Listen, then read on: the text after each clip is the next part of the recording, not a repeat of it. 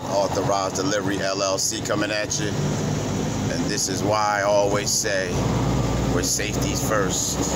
And that wasn't even a trailer. That was a tractor. Tractors are fast. Believe it. With, without the trailers, they are super fast. But um, that's an example right there where safety is first. And make sure you're, if you're renting, wherever you're renting from, because I'm having a hard time with my company when I get a truck or a fill-in truck when mine's getting fixed. I'm going down hills and I'm pushing my brake all the way down. Since I had this truck, luckily I drove pretty good because I almost ended up in the grass. I had to go over to the other lane because the brakes wouldn't work. And this is why I say, to me, it's an advantage just to have your own because you, depending on somebody else, you know, and uh, I made the biggest mistake. But like I said, I stepped into the rental game and all that. At the time, prices were low. The next week they shot up. So like I said, if you're in that predicament, just put in work, get your own, and then you can make what you're supposed to make. You know, we all new to this. Sometimes you got to make sacrifices, whatever. But I just wanted to show you that example of being on a road where safety is first. Luckily, nobody looked like they got hurt, damaged, they bumped. But who knows? Somebody's brakes could have been messed up. Somebody's not paying attention.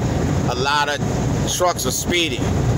You know, you have a lot of big trucks, whether it be big rigs or box trucks they're in the, uh, the slow lane, as you can see right here on my right side.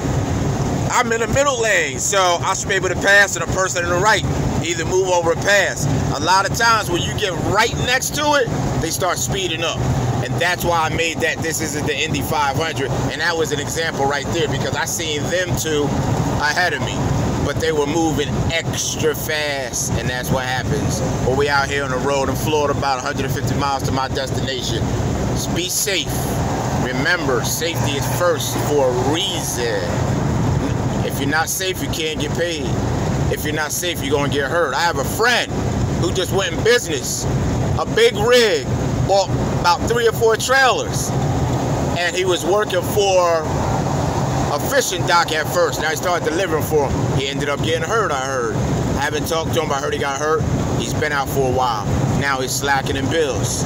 You see, safety is definitely first. But I just wanted to give that true example. John Authorized Delivery, LLC, Stone Stanza, coming at you on my way to my drop off and uh, right outside Tampa Bay, Florida. Checking with you when we get there. Like I said, my channel is for new beginners because I'm a new beginner, but those who've been in it for a while are welcome. My channel will explode. I'll have a little bit more, but I'm just taking my time with it. May each exit be a blessing in your life. Stay safe, people. Transportation world.